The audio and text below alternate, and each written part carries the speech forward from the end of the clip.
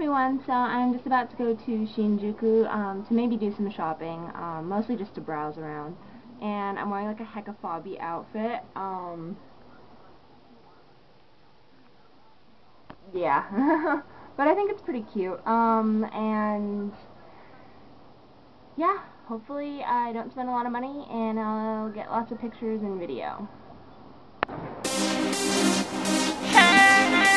What's up, Japan? Japan. It's Big Bang. Love does not belong to me anymore. Love does not belong to me anymore. I don't like it some more, yo. Every day I slow, yo. Go to.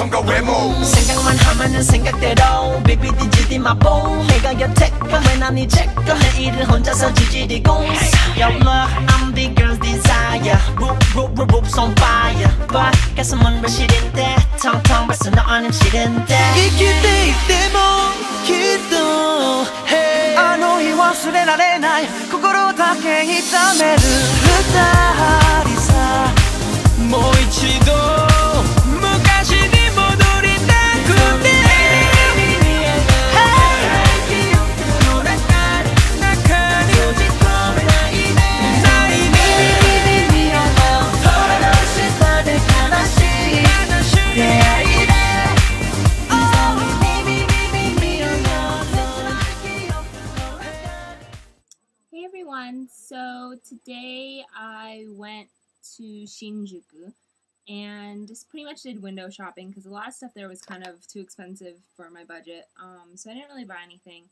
Um,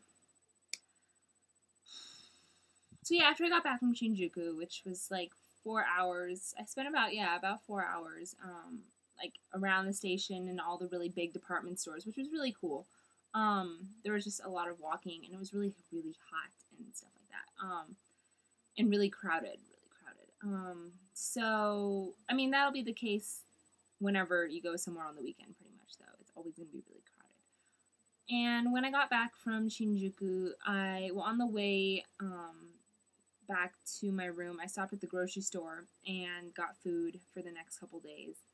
Well no actually for the next couple dinners i guess. Um so then I came back and went online and then ate dinner. And then I got a call from Myra who wanted to go out to dinner, but I had already eaten. And then I got a call from Ian who wanted to go out to dinner, but I had already eaten. But I decided to go out to dinner with them anyway um, and just get like something small. So I went out with them to a Chinese restaurant, the one that we had gone to before, and I got a plate of gyoza, which was really delicious. And then afterwards, um, Myra and I decided to go back to that department store that we stopped at the other day, um, since it was close to closing last time. And we went to a couple stores in there um, that had pretty good stuff. And I found like this hilarious shirt Um, it says Hadouken on it. um, yeah, and this was at um Uni Uniqlo Uniqlo something like that. I'm not exactly sure how you pronounce it, but it was on sale, so I had to get it. I couldn't help it. I don't know if it's gonna fit me or not, but if it doesn't, I will totally give it to someone who can fit it. Yeah. Um, and then uh, at a CD store, I found this. Um, it was free, and uh, yeah, it just has like um, the new releases from like Korean artists and stuff, and information about it, which is really cool. And then it has like a page or a couple pages for Big Bang, so that was awesome because it was free. And then they had um, DBSK's Please Be Mine photo book there, but it was forty bucks, and so I couldn't buy it today. Yeah. Um, and then afterwards, we wandered around way down the street, and um, pretty much just decided to go wandering because we didn't want to go back to her room. And then all of a sudden, out of nowhere, there was a fireworks festival going on. It was like way down past the train station in like the other direction. Um, but we went up on a bridge and watched it and took video, so that was cool and unexpected, but very cool. And then afterwards, we went and got ice cream, um, cream puffs. Well, cream puffs with ice cream in them. Yeah, those were really good. Um, so we ate that and then pretty much called it a night. But yeah, it was pretty fun. Today was pretty eventful, pretty busy. I need to work on homework because I have a lot of homework due. Um, a lot of presentations and stuff next week. A lot. Two kanji tests on Monday. I'm not. Um, and tomorrow I think we're going to that cat cafe in um, Kichijoji. So that should be cool. I looked it up online and like looked up their hours and the prices and stuff. It's 900 yen for an hour, and drinks are like 100 to 250 yen, which is pretty good. So I'll be spending about 10 bucks tomorrow on that cat cafe thing, which is not that bad. Um, but I only have like 30 bucks and that needs to last me at least until the first.